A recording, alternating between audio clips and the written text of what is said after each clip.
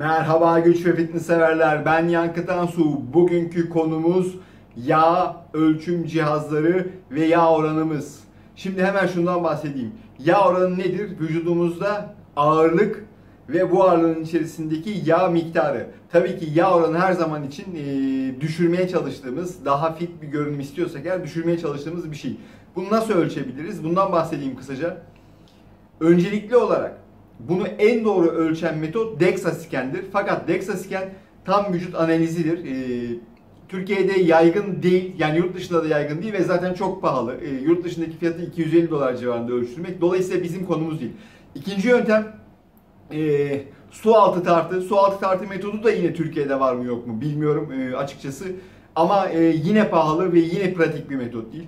Üçüncü en sık kullanılan her spor salonuna gittiğinizde, her diyetisyene gittiğinizde kullanılan biyoelektrik impedans analizi BIA cihazıyla yağ ölçümü.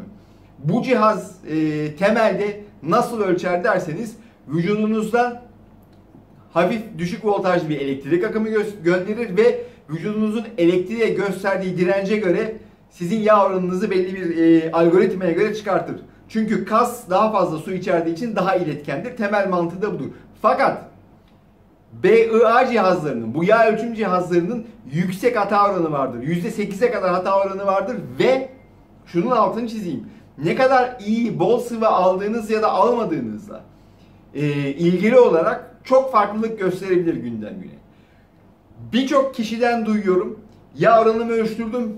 2 hafta önceye göre 3 kilo kas kaybetmişim, 2 kilo kas kaybetmişim, 5 kilo yağ kaybetmişim, 3 kilo kas kazanmışım. Bunlar kesinlikle dayanaksız.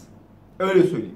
Siz sadece bu cihazların verdiği değerlere göre yağ kaybettim, kas kaybettim vesaire yanlış olur.